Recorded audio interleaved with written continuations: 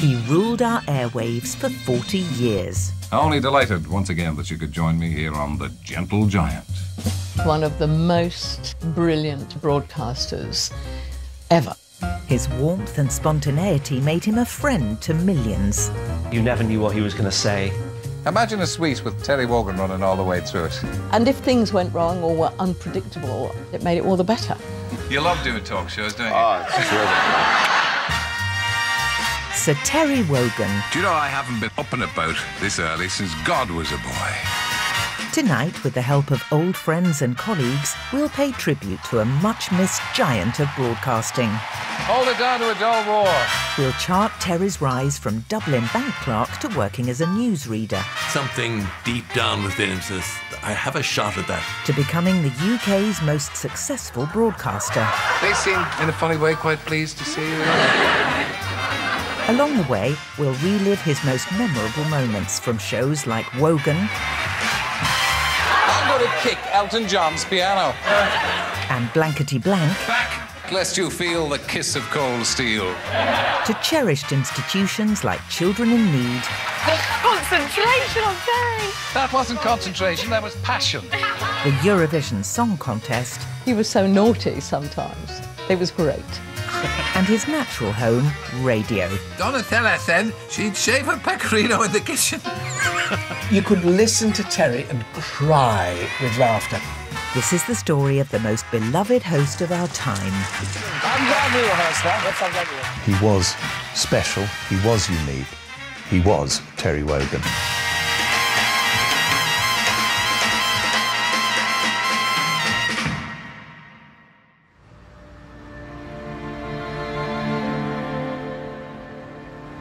London, 2009. And this is it then. This is the day I've been dreading. The inevitable morning when you and I come to the parting of the ways. The old, the last. Wake up to Wogan. After four decades on radio and television, Terry Wogan took a step back. I think he felt that it was better to go out on a high. The figures were really good, and there's no point waiting. I think he made the right decision at the right time. When Terry stepped down from Wake Up to Wogan, there was a very sad feeling in the air because, you know, he had really felt, I know it's a cliche, but it's true, like a friend. Like an old kettle in the kitchen, an old carpet on the floor. I've been there. And, you know, I'm familiar. And that's one of the essences of daily broadcasting is familiarity. And, if you like, repetition. The fact that you're there, just a, an old voice droning on in the background.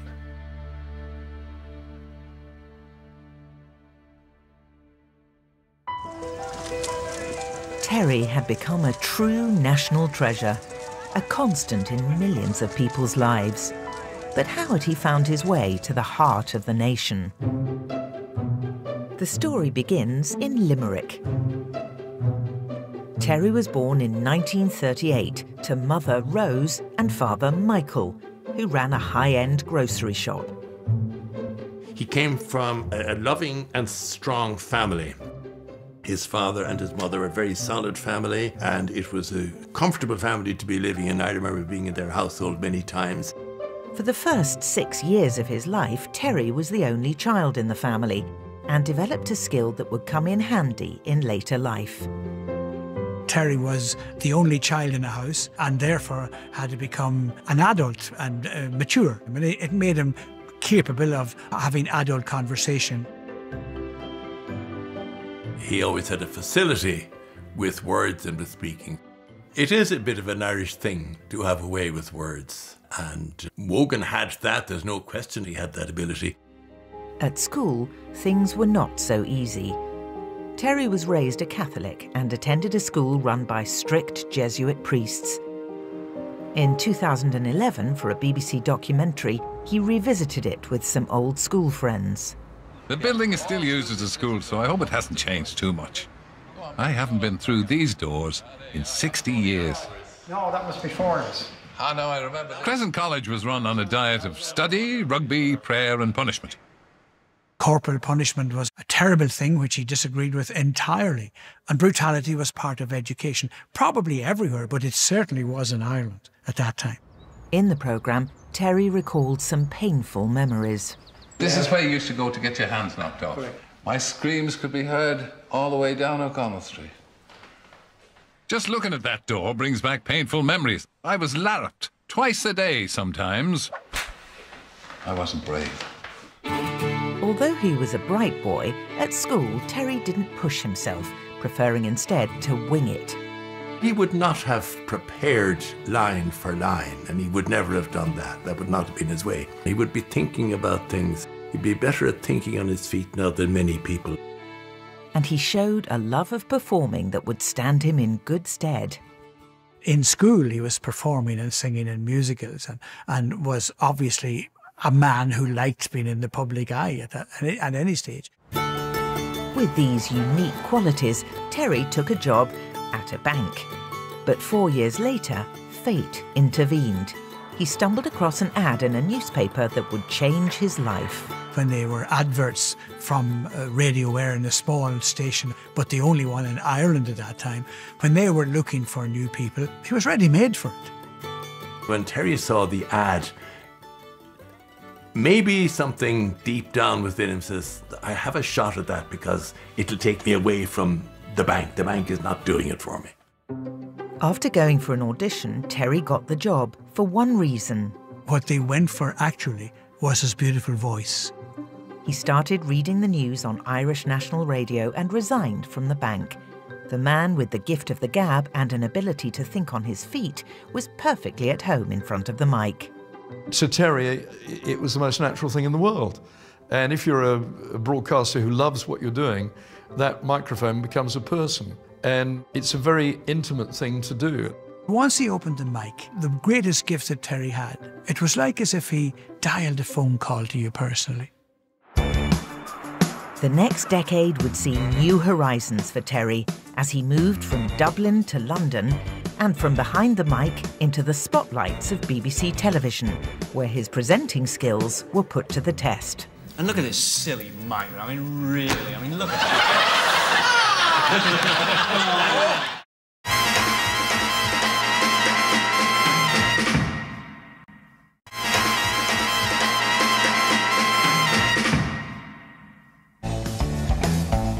In the 1960s, Terry Wogan was a household name on radio and television in Ireland. In 1965, he married Helen. And by the end of the decade, when he was keen to spread his broadcasting wings, he looked across the Irish Sea to England, where BBC Radio beckoned. I enjoyed myself in, in Ireland doing radio and television very much. It just so happened that I had more or less run the gamut from A to B, as they say, um, in Ireland. And um, when the opportunity came up to work here, well, I took it naturally. In the 60s and 70s, the BBC was really big time, commanding big audiences with a world reputation. It was, if you like, the centre of the broadcasting universe. In 1966, Terry made his BBC radio debut on The Light programme, presenting Down the Line from Dublin and in 1969 he was offered a six-week contract to host an afternoon show of his own. It would mean making a big decision. Essentially, it was the inner drive that Terry had. He knew exactly what his talents were. He knew exactly how to use them. And he wasn't afraid to take risky decisions to make sure uh, that uh, he got where he was happy. Terry took a huge risk, moving his wife and young baby to London. I think he was brave to come over from Ireland, where he would have been a large fish in a small pond. He could have been on the boat back to Ireland very quickly with his tail between his legs. Thankfully, the British people loved him even more than the Irish people did, and he stayed there. His six week stint went so well he was offered a permanent job. And in 1972, he landed his big break, presenting the prestigious breakfast show on BBC Radio 2. Terry Wogan. And a very good morning to you. The time on Radio 2, exactly three minutes past seven. Only delighted once again that you could join me here on The Gentle Giant. Doing the breakfast show is the biggest show on, on radio to do, and it's always a, a joy to do it. And Terry was delighted to be offered it. He had found his natural habitat. The Wonder Tones and George Gershwin's A Foggy Day. It's two minutes to eight o'clock, and uh, one of our turntables has sat down, so here's turntable three for the first time today. His distinctive blend of whimsy and witty banter becoming the soundtrack to mornings all over the country. When they gave it to Terry, I don't think they realised quite how popular it would be, but it was. It was enormously popular. He just made it into his own show. Good morning, Tony. Good morning. Good morning. Don't interrupt me now. There are millions of listeners hanging on me every word here. People weren't tuning in for the music, they were tuning in for Terry. When you heard him in those days, it was inevitable that he would have a big career. It was clear that he had found his métier, and his métier wasn't being in a bank in Ireland, it was being in front of a microphone at the BBC. Well, that's the height of it for another day. Thank you very much for your company between 7 and 9 on Radio 2. Terry was open about his drive to succeed. You're an ambitious man. Yeah, I must be. Yes, and also, you must be honest enough to say that you're an egotist, or you wouldn't be in this business. I think most people who work in radio are sort of introverted egotists. you know. Let me work that one out. Well, you see, you don't have anybody looking at you. You don't have to please anybody except the microphone. So really, you're talking to yourself. It's a very unhealthy thing, really, being a disc jockey. Terry's presence on the radio broke boundaries. When Terry was given his job in London, there weren't many accents on the BBC. It was pretty proper. You know, his Irishness really broke the mold at the BBC in general, where it was radio or TV, and it opened the door for accents to come in. His Irish origins would give him a unique strength. Terry's Irishness was a tremendous asset as a broadcaster, as well as his wit and as well as his warmth. I think being Irish was a great advantage, an unfair advantage, I would say. I once heard someone call Terry Wogan the unofficial ambassador to Britain from Ireland. But maybe the fact that he was an outsider allowed him to see Britain in a slightly different way and be able to comment on Britain. He managed to do that and see the absurdity, the silliness.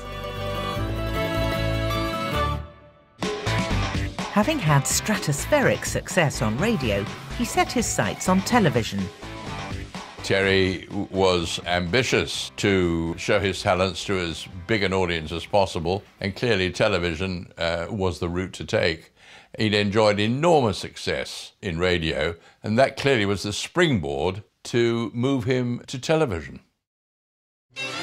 Terry got a job commentating on Come Dancing, a precursor to Strictly Come Dancing, featuring amateur dancers rather than celebs.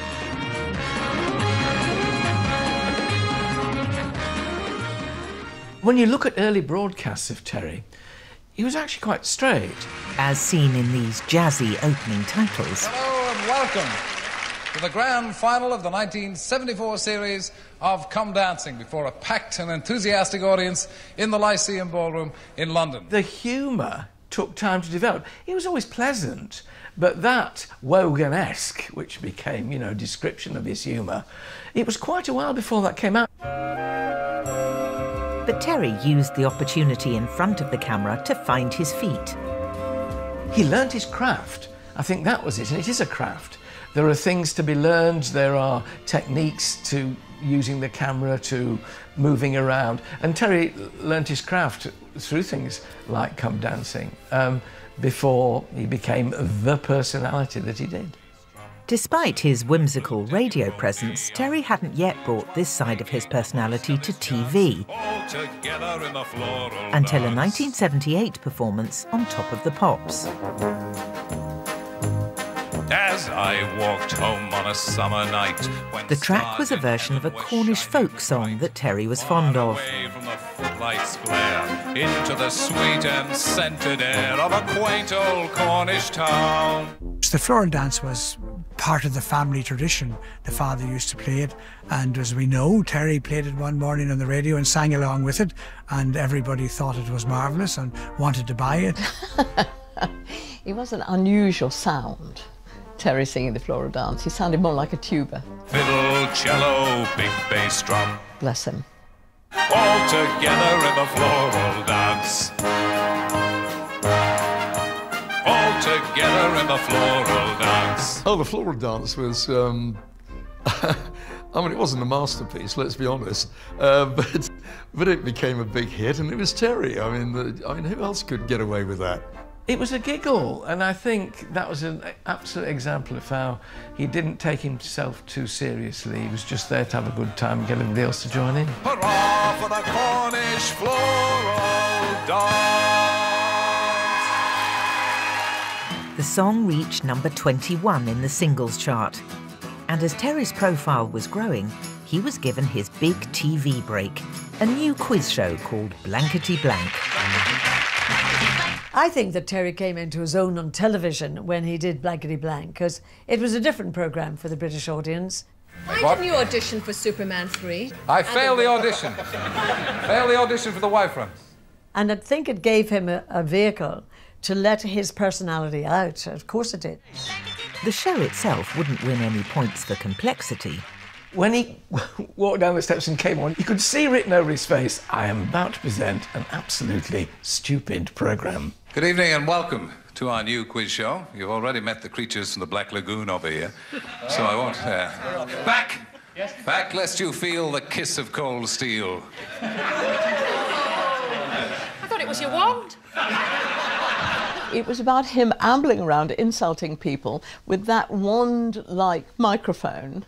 What was that about? People wonder why we got a microphone like this, and it's precisely because occasionally you get people like him, you see. Terry's now famous spindly microphone had originated in the American version of the show. And it was sound supervisor Mike McCarthy's job to recreate it for Terry. The show was coming up on the next Sunday, and the only thing I could think of was a car radio aerial. So I went to my local car accessory shop and constructed cutting the top off, fitting the mic over the top, putting the wire on the bottom. There was the microphone.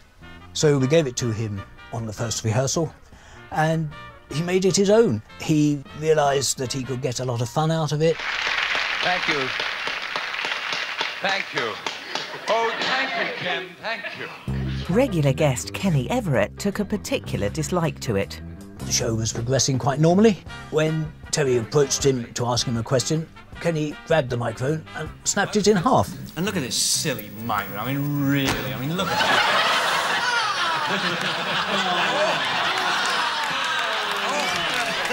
When Kenny bent the wand, this was totally unrehearsed. It was a total surprise to everyone. I mean, luckily it kept working. You're so strong. As soon as you're ready, gang. I must admit to being a little disappointed because I'd only built the mic a, a few weeks beforehand. And, and of course, it then became a regular thing um, that whenever Kenny was on the show, he would find some way of bending the microphone. Let's have it. All right.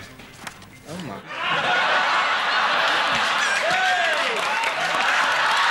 He must have got through seven, eight, or nine of them. You have cracked my wand. Oh, it's a bit of car air. Shut up. Shut up, You're letting the cat out of the bag. Talk to me like that, would you? On Blankety Blank, Terry showed his unrivaled ability to deal with the unexpected. Come closer. Closer. Oh.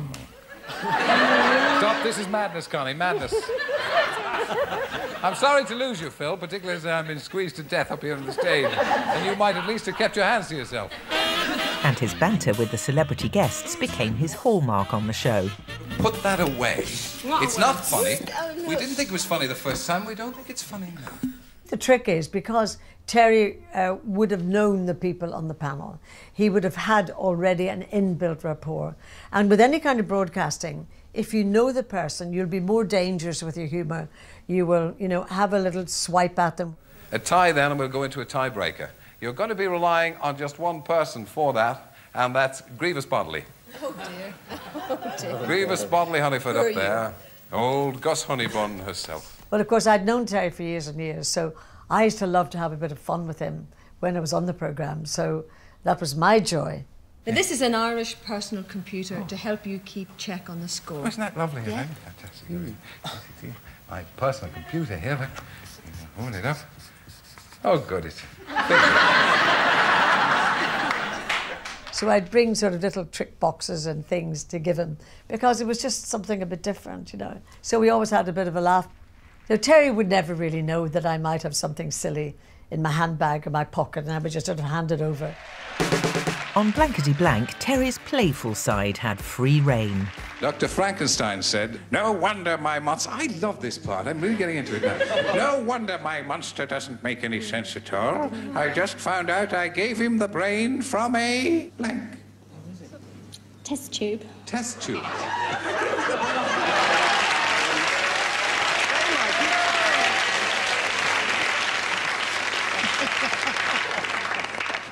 They're on my side, Terry. They can be replaced. Blankety Blank uh, allowed Terry, uh, in, in, the nature of its format, to practice uh, that wonderful gift he have for self-deprecation, including deprecating the format of the show and the gifts that were available. Well, that means that you've won a 60-piece selection of cutlery. How we can stand here without losing control, I don't know. And it was a huge success. Viewers tuned in in their droves. Somehow it was quirky and it was idiosyncratic and it was fun to watch on a Saturday night. So, big audiences, of course. Wogan was, you know, a great commander of high ratings. People wanted to watch him. And he just made this ridiculously trite game show into something that made you laugh, and goodness me, we all needed it. Still to come, Terry cements his place in the hearts of the nation, presenting Eurovision and Children in Need. Little cello, very strong, bassoon, flute, can you pull me up? Children in Need is a national carnival, and he created it.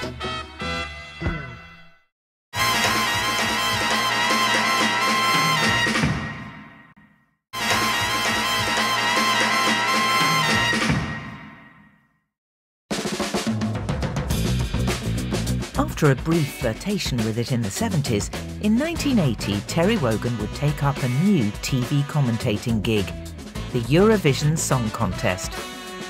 From the very start, he adopted the amused and ironic style that would become his trademark, as you can see from this clip.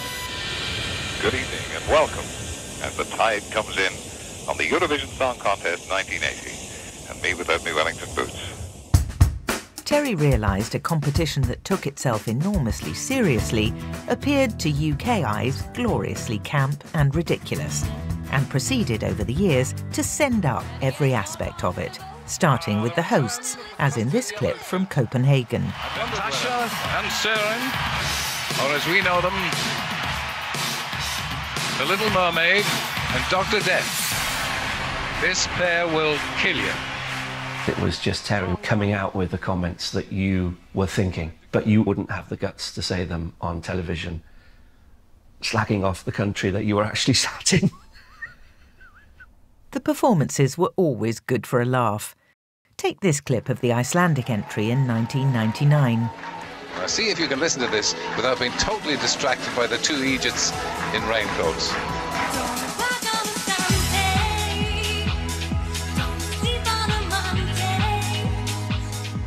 Or this Turkish entry from 2005. Keep an eye out for Archimandrite, High Priest of the Bongo. There's the fellow. He was so charmingly tongue in cheek. He managed to do this brilliant thing, which is retain affection for it, but at the same time expose pretty relentlessly all the things that were just rich comedy fodder. People tuned in just to listen to Wogan and see what he was going to say because um, he was so naughty sometimes. It was great. Part of the joy of listening to Terry's commentary as the night wore on was speculating whether he'd been resorting to a bit of Dutch courage. This clip from Jerusalem gives us a clue. Mazel tov! As does this quip from Copenhagen. Be of good cheer. We're nearly halfway through. At this time that I reach for the bottle. You knew that Terry was having a sip of something. Comments like this from Athens added to the mythology. Spain is next. Song called Bloody Mary. That reminds me, I haven't touched a drop yet so far. By all accounts, his rider for the Eurovision was two bottles of Bailey's. he was at his best, probably a bottle and a half in. I think we only got through one bottle. As head of Britain's Eurovision entries for 15 years, Kevin Bishop shared many commentary boxes with Wogan. There were places like in Eastern Europe where we were not allowed to take alcohol. So in those times, I had to get disguise the um, the Baileys and put it in a, a, a, an orange juice container. Which meant that by the time the voting came along, Terry was well into his stride, as you can see from this clip from the Belgrade contest. And t- 10 points goes to. Uh, it's not easy. Bo- Bosnia Herzegovina. You have to move your lips. Bosnia-Herzegovina, And it's not points. And this from 2006. Hello, Greece. You've had a few. You've had a few, haven't you, son? Everybody. Kalispera Paul. You look like Will. You look like Will and Grace. You too. Thanks for dressing up. It may have delighted his audience, but Terry's ironic approach didn't always go down as well with the organisers. I imagine the only people who are not ardent Wogan fans are the very serious officials who believe the Eurovision Song Contest is such an important item in the musical calendar that it's quite wrong to make a mockery of it. I worked in the comms department of Eurovision for three years. There were mixed perceptions of Sir Terry behind the scenes at Eurovision. Whilst on one hand he was really respected as a broadcaster, he also bashed their TV format as well, and he did that year upon year. I think Terry's light touch must have mystified them, but it made it for us. Whatever the organisers' reservations, by 1998 Terry Wogan was synonymous with Eurovision. And when the UK needed a host for the live show, nobody else would fit the bill. Terry showed his trademark laconic wit from the very start. Hold it down to a dull roar. The rest of Europe thinks the British are reserved. Even when he was forced to speak French, as seen here. Les lignes téléphoniques sont maintenant ouvertes pendant cinq minutes. Cinq. When it comes to Terry's French in 98 in Birmingham, I think he did okay. For my second song this evening. No. But Wogan's easy manner concealed the fact he was becoming increasingly bothered by the political bloc voting of the competition. There are voting blocs, there always have been. Greece and Cyprus always exchange points, the Balkan countries do. This clip from 1995 is just one example. And now we see whether Cyprus, as it usually does, will give 12 points to Greece. Greece. yes. 12 Nothing political about this contest. My word. Every year without fail. I think Terry left Eurovision in the end because he was very disillusioned and he was very concerned about the political voting and the fact because of that the UK would probably never win.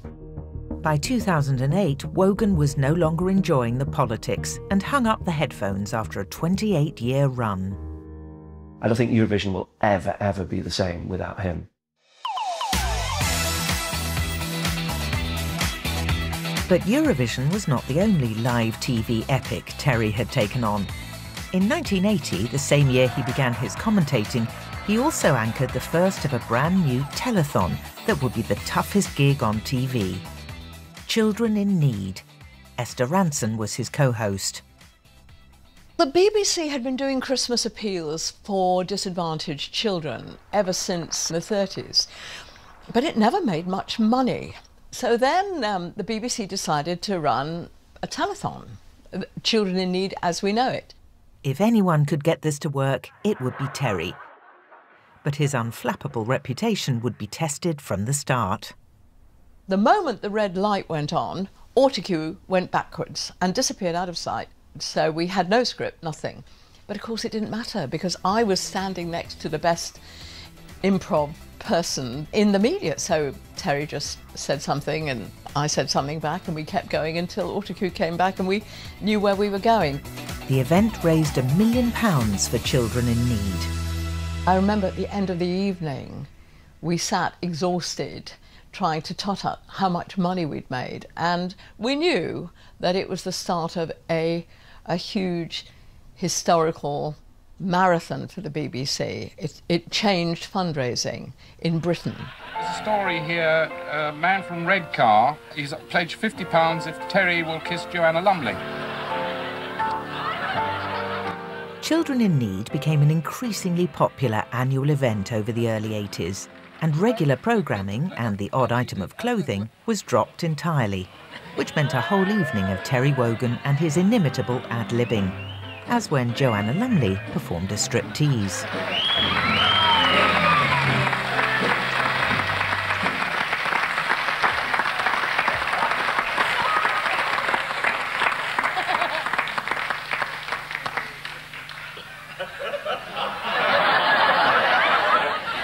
And now I suppose.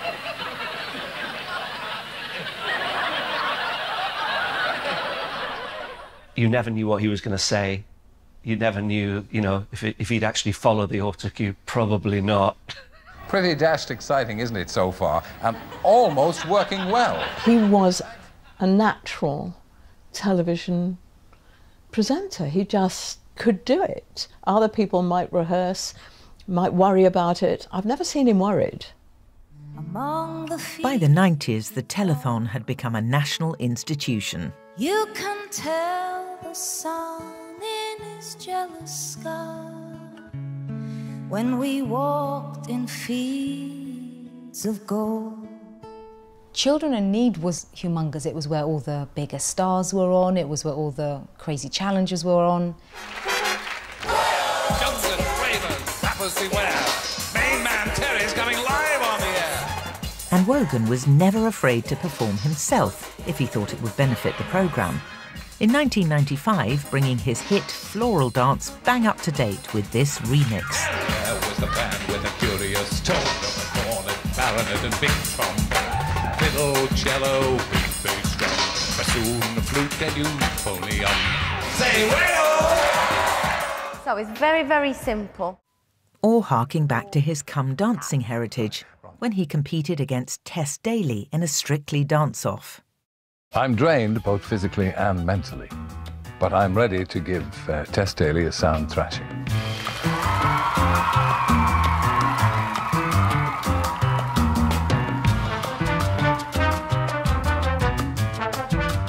the truth was that all that Terry did was sort of push Flavia around the floor like um, an elderly uncle, actually.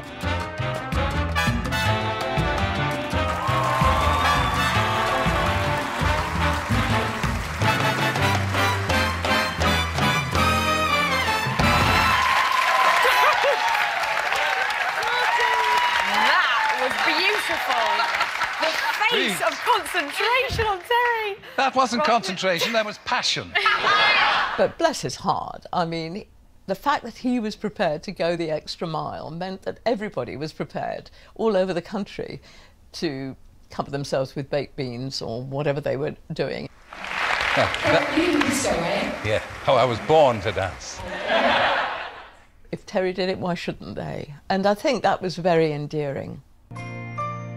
In 2008, he recorded a Christmas single for children in need.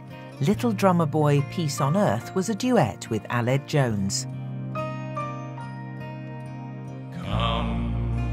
Told me. I was there from nine o'clock in the morning recording my bit, and then all of a sudden Terry Wogan comes in in his suit, having just done his morning show, and, and no word of a lie. Okay, this is this is typical Terry. I'll do it once. I've got lunch to go to. I was like, okay, yeah, brilliant. And so, what does he do? He comes in, stands next to me in a little booth, says something ridiculous like "Don't mess it up" or something like that, you know, as usual, and then proceeds to record it, and it sounds great once, and then he goes off for lunch. Gifts we bring, pa-ra-pa-pum. Reaching number three in the charts, it was Terry's second hit, a mere 30 years after Floral Dance. Peace on told. Can it be?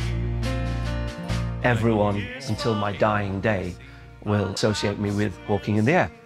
But little known fact, Little Drummer Boy with Terry Wogan and Aled Jones was a bigger hit than walking in the air. More importantly, it raised £50,000 for the charity. With children in need, Terry Wogan had cemented his place in the hearts of the nation. I can vouch for the fact that off air, he cared about it passionately. It wasn't the sort of thing that he just sauntered in once a year, went through the motions, and went home again. Far from it. By 2014, under Terry's 34 year stewardship, Children in Need had raised almost £800 million for worthy causes. An incredible sum, due in no small part to the ability of Terry to charm us out of our money and stay enthusiastic through hour after hour of live TV. I think it was the, the Terry Wogan Children in Need that won the whole nation's loyalty and enthusiasm and got them fundraising year after year. It's very difficult to be on telly for hours on end asking people to part with their money without getting on their nerves. Terry Wogan was one of the few individuals on the planet who could pull this off. Children in Need is a national carnival, and he created it. Coming up, The Wogan Show from slippery beginnings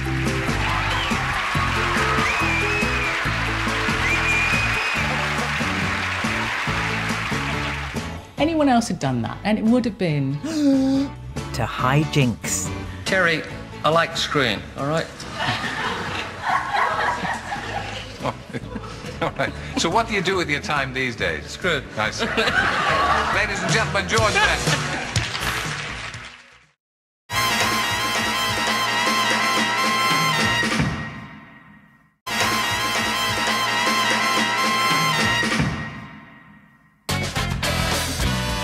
Terry Wogan was a familiar face on our TVs by the early 80s, well established in his presenting gigs on Eurovision and Children in Need.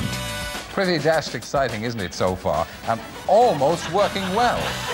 Thanks, Doria. These here are the humbugs that I was promised on breakfast time this morning, and imagine a suite with Terry Wogan running all the way through it. You'd lose weight if you'd a lot of those on the market. Huge events that were about more than just Terry. But in 1982, Terry's profile would skyrocket when he was given his own Saturday night TV chat show called simply Wogan. Its success or failure solely down to him. Jim Moir created the show. Nobody inhabiting the very peaks of popularity can be anything other than a risk taker. So, yes, he was always on the front foot looking for the next challenge. BBC bosses wanted to bring Wogan's relaxed charm and spontaneity to the screen. And in interviews with stars like Elton John, that's exactly what they got.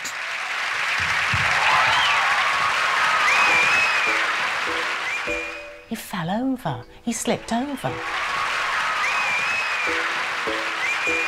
I'm glad we rehearsed that. Yes, I'm glad we rehearsed yes. uh, There was just one thing during that. Jayne Torvill and Christopher Dean live. Hi, Jayne. Right. Yes, I'm going to do that every week, everybody. if I live. Anyone else had done that, and it would have been. Terry does it. It was fantastic. He could get away with anything, and it was just brilliant. It was so Terry. He knew the fundamental truth is even if it went wrong, viewers and listeners prefer it that way. They love the mistakes, and he could always talk his way out of it. I'm going to kick Elton John's piano. I want to kick Elton John. Wogan was soon drawing audiences of 10 million. The Saturday Night Wogan uh, was pretty much uh, an instantaneous uh, hit, enhancing his reputation. His success attracted the biggest names in showbiz and beyond, the audience delighting in stars like Whitney Houston. Yes, they seem, in a funny way, quite pleased to see you as well. And Audrey Hepburn. Thank you for having me back. Terry was enormously popular at that time. He was the name in television. Something like "Don't die or I'll kill you." you did read that, didn't you? the show soon went live three nights a week. John Plowman, one of the producers, had to adapt fast to Terry's freewheeling style of working.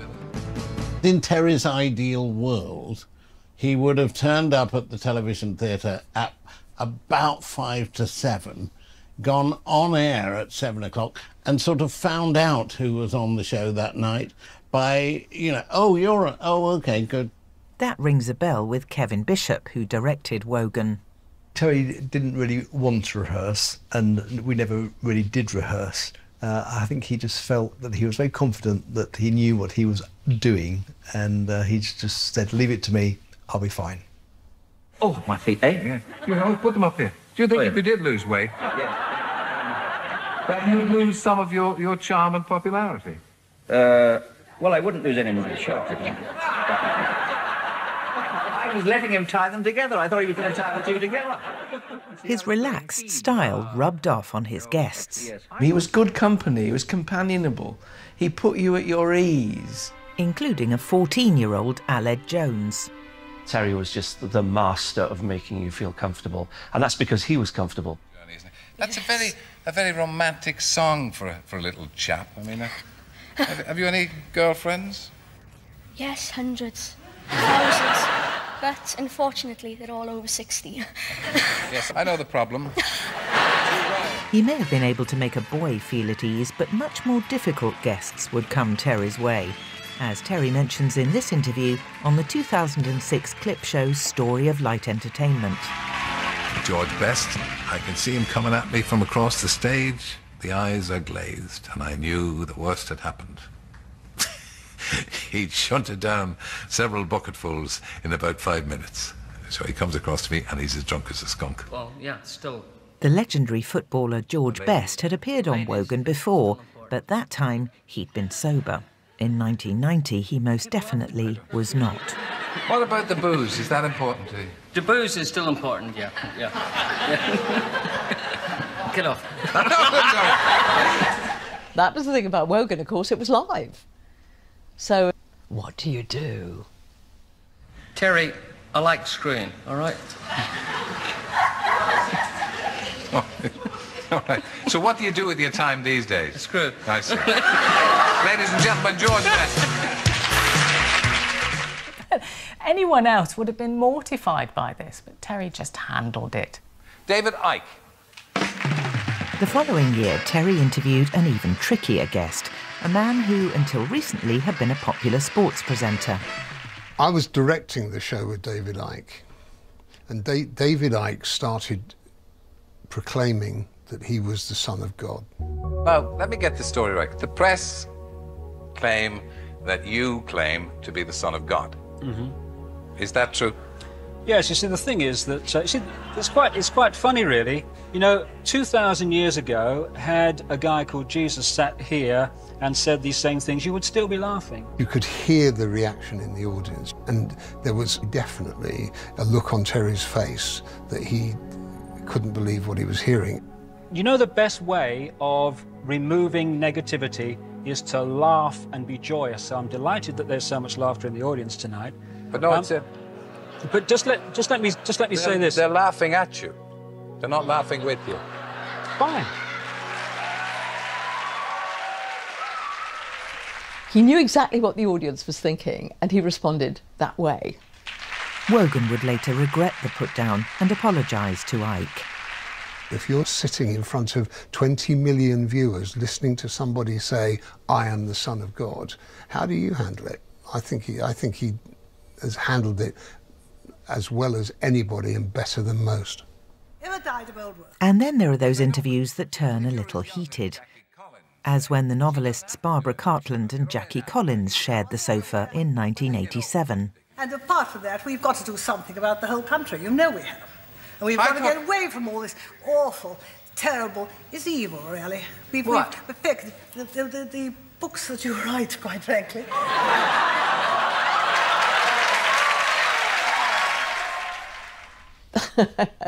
You see, what you know is that the viewers are actually rather enjoying it. Suddenly, they're paying attention. But don't you think it has helped the perverts? It has helped. if There's a pervert out there watching me. Yes, I didn't do you it know, intentionally. and you- you have- Sometimes a guest with a bit of bite is just what a good interview needs. In 1986, TV cook Fanny Cradock made her last TV appearance on Wogan. Can you see over the top of your tum still? It's what being a chat show host is all about. It's having these weird contrasts of people. What about nouvelle cuisine, then? What about it? Sorry, I mentioned it. Yeah, I should think you do. Oh, when are we going to get off cooking and talk about my new book? I don't know, whatever you like. Well, let's do it now. Right. What new book? It's called, you've led into it, bless your heart. It's called The Windsor Secret. Even the most feisty interview was preferable to those in which the interviewee clammed up completely. And there were quite a few of those, like actor Christopher Lloyd. Because normally we see the hair all over the place and, and the crazy roles in, mm-hmm. in Taxi and all the rest. You seem to play an awful lot of those energetic and, and slightly loony roles. This is true. That's the worst thing for an interview is if you're interviewing a guest who doesn't actually want to be there. Does this reflect your own sunny personality?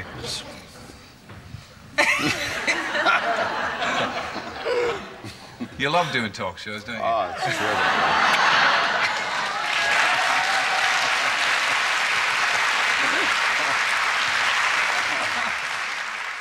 Anne Bancroft was another actor who was far from comfortable with live television. Why do you hate this kind of thing so much? Is it is it me?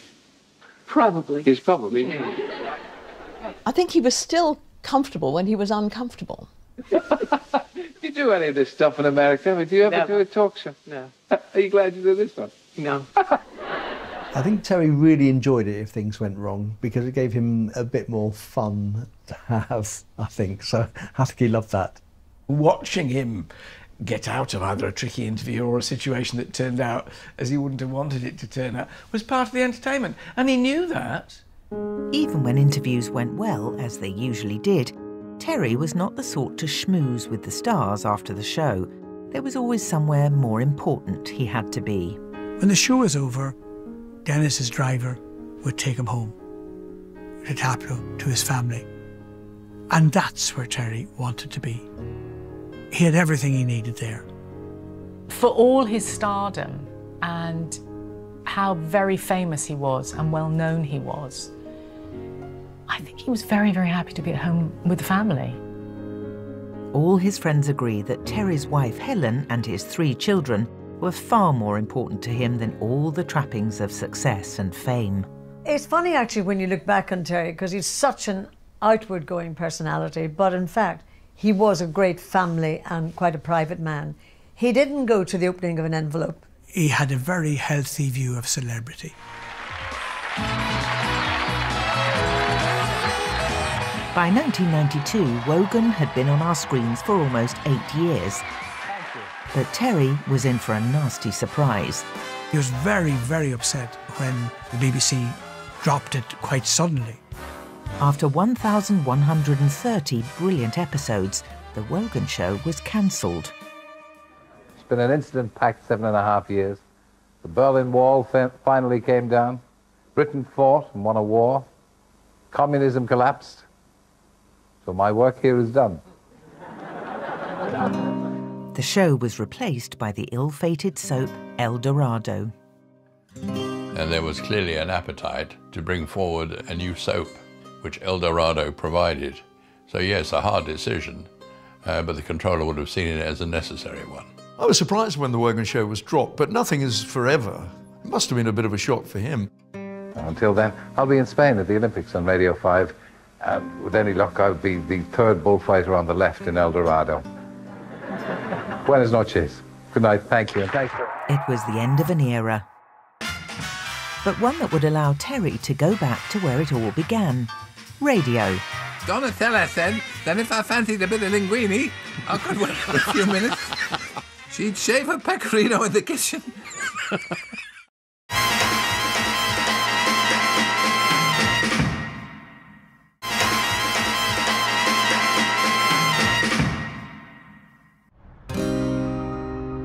After leaving the Wogan show, the call of the airwaves remained strong for Terry. In January of 1993, Radio 2 welcomed him back with open arms for the Wake Up to Wogan breakfast show, which he started with a classic Wogan line. Do you know I haven't been awake or up and about this early since God was a boy? When he came back to radio, having gone away, there was a great sense of relief in that your friend was back. Each weekday morning, listeners across the country awoke to Terry's reassuring tones, as evidenced by this typical Wogan greeting. It's 88 to 91 FM Radio 2 from the BBC, in case you were wondering what you'd stumbled across and are sitting there aghast with horror. Wake Up to Wogan soon became the most listened to breakfast show in Europe, with up to 8 million tuning in. Everyone would have a radio in the kitchen and in the dining room and in their car. And I've heard people say that they've been sitting in traffic jam, laughing, and they look across and there is someone laughing in the car beside them with tears running down their face. We could all do with a laugh in the morning, and Sir Terry Wogan was the guy to do that for you. Dickie, of, who's the proprietor of the Wheelston Stainorama. Yes. Dear Dedicoat, how nice of you to pop in the other day. I can confirm your Halloween outfit will be fully laundered with the extra gusset. I would sit there some mornings in the news booth thinking, you'll never get away with this. But he did. He had the charm to get away with it. Terry's unique style of banter with producers and listeners was part of its huge success.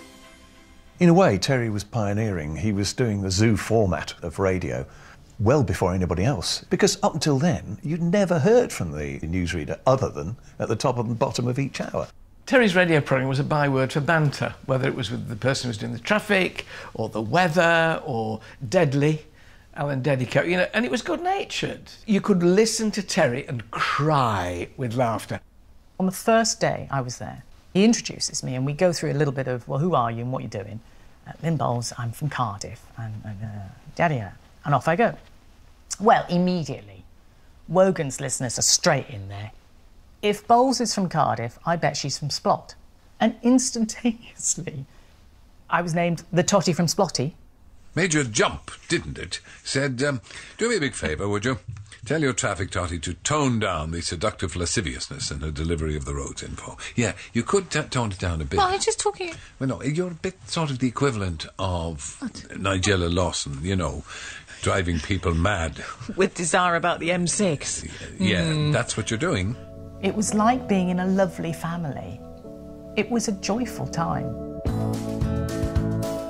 Never one to hog the limelight, Terry made sure his loyal listeners were involved in the show too, and he gave them their own special name.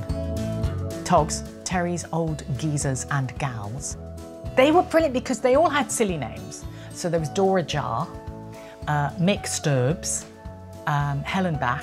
Terry involved everybody in everything that was going on. So on the radio, he'd talk as if we were his friends. And they would write in and they would help us put together a brilliant show.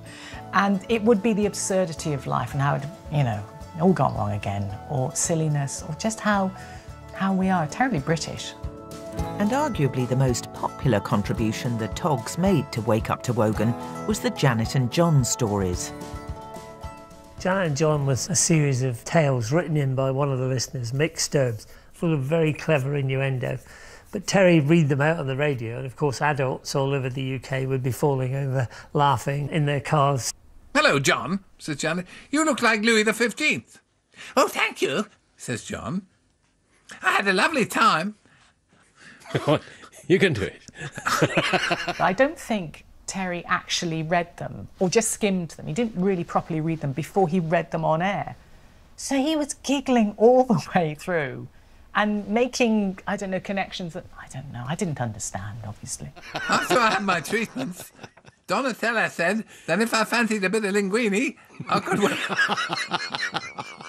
wait for a few minutes. She'd shave her pecorino in the kitchen. It was entirely innocent. It's your naughty mind. That's what it is. The relationship between Terry and his Togs grew as they became a fundraising force, raising around five and a half million pounds, selling calendars and Janet and John CDs for children in need. And the Togs are grateful for the experiences that Terry gave them. We've done so much stuff since we started fundraising with Terry. Togs voyages, we've been round the Mediterranean with the Togs. It's allowed us to meet a whole new set of people that we wouldn't have met before. And we've lived a very full and wonderful life because of Terry. And it was through Terry that these two particular togs met and eventually married. For me, the most important thing that Terry gave me was Nom. Terry's talents went beyond bringing people together. His ear for new music made the show essential listening. I think Terry was very aware that you've got to have the combination of your own personality and the right music. He was famous for music and records and discovering other people like Joe Dolce, like Rene Renato, people that no one else had heard of and never would have heard of had it not been for Terry. When Terry first heard the then unknown singer Katie Melua, he was smitten. He championed my music early on, and it was completely priceless for us because we weren't really getting the radio traction that, you know, we could have been, frankly, because our tempos were always really chilled. In the summer of 2003, Terry featured Katie on the show for the first time and continued to promote her career over the years. I was very pleased to introduce this very talented singer-songwriter to you, Katie Melua. This was her very first hit. How can I think I'm standing strong? People always say, I just heard your song on the Terry Wogan Breakfast Show and I had to stop the car and listen to it.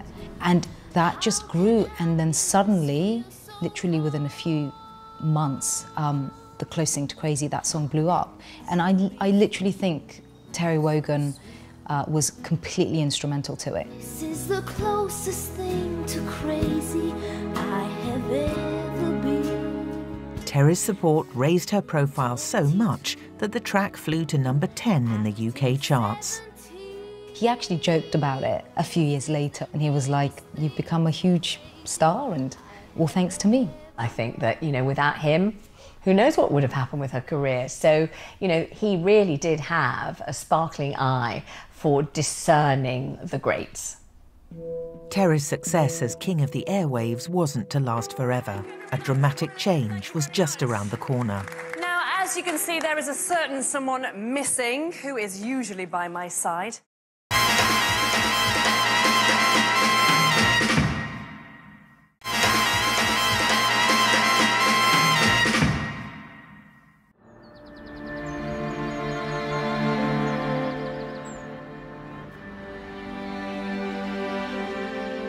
After 27 years in the radio hot seat, 71 year old Terry called time on his breakfast show.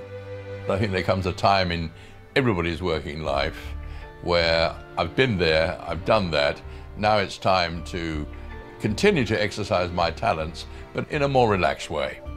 Terry finally hung up his early morning headphones in December 2009. It was really sad when we discovered that Terry was going to finish. I couldn't believe it because I thought he had to oh, keep going. Nothing lasts forever in the world of show business, believe me. And it was a day I was dreading. He wrote a fantastic piece as his last piece to his audience, and it was about them being his friend. Um, but thinking back about it now does make me sad. That's the only time I've ever seen him with a prepared piece of paper in what he was going to say. Now, I'm not going to pretend that this is not a sad day. You can probably hear it in my voice. I'm going to miss the laughter and the fun of our mornings together. I know you're going to welcome Chris Evans with the same generosity of spirit that you've always shown me. So, I'm going to miss you till we're together again in February. Have a happy Christmas. Thank you. Thank you for being my friend.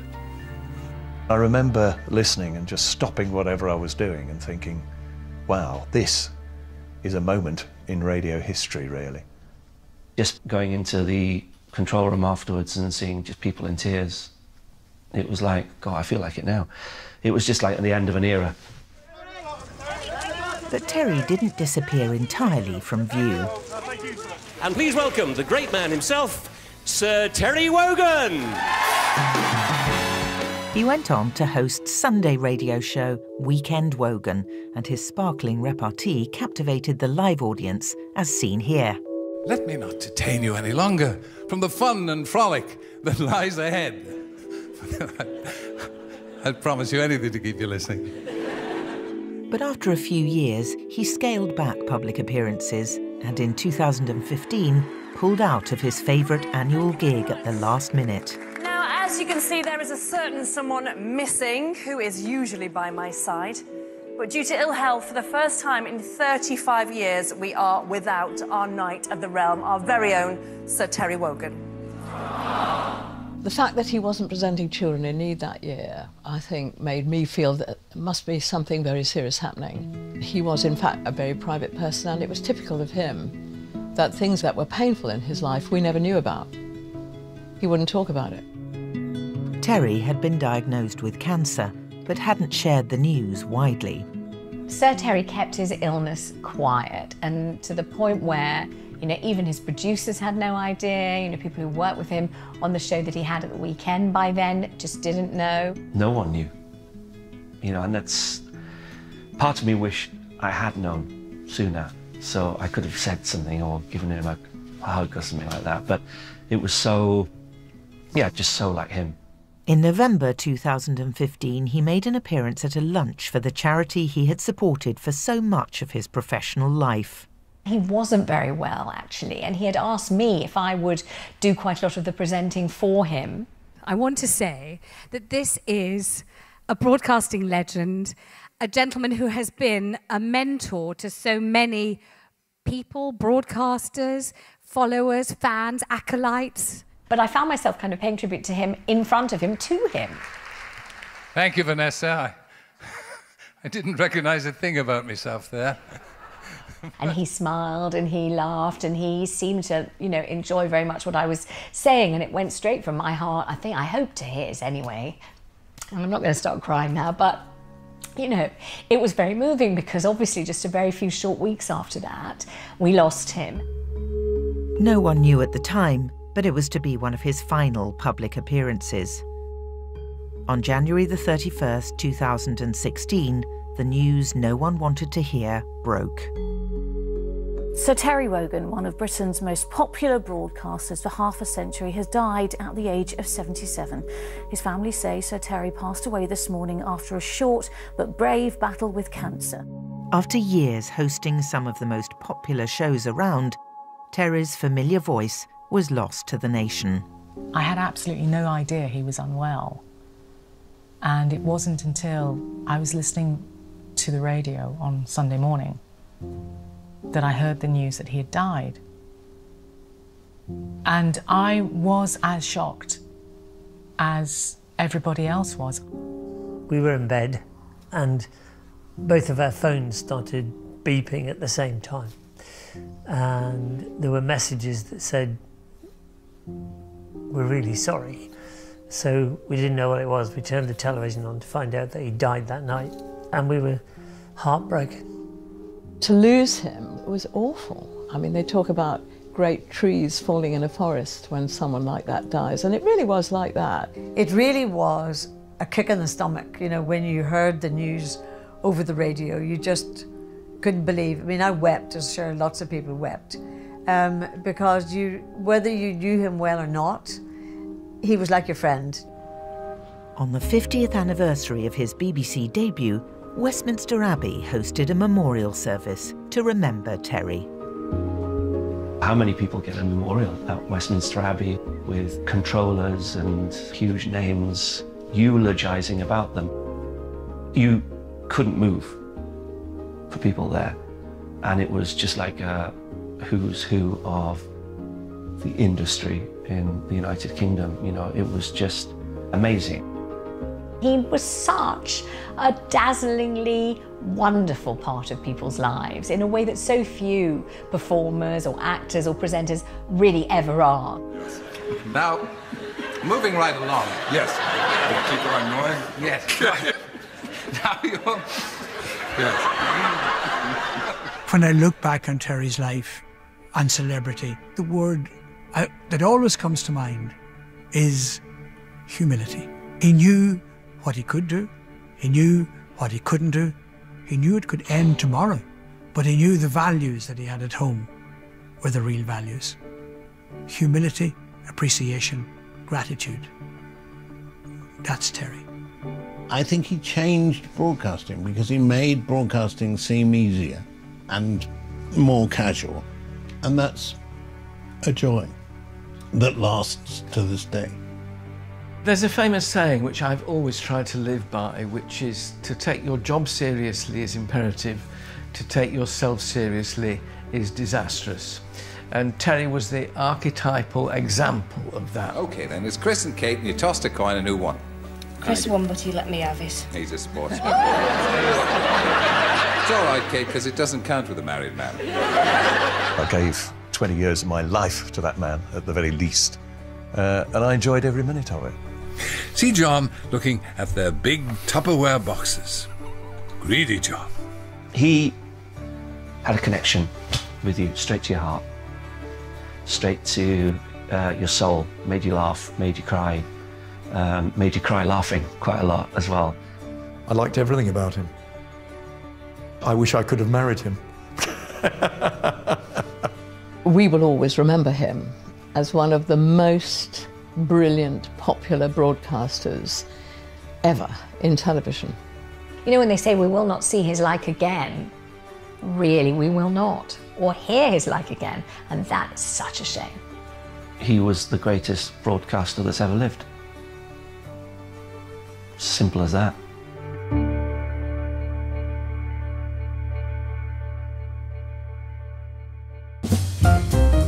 to you, Sir Terry. Brand new Sunday at 9, we give thanks for Hanks and delve into the little known rags to riches story of Tom Hanks, Hollywood's Mr. Nice Guy. The Bee Gees storm off set next as we recall some of the most shocking TV interviews. Brand new.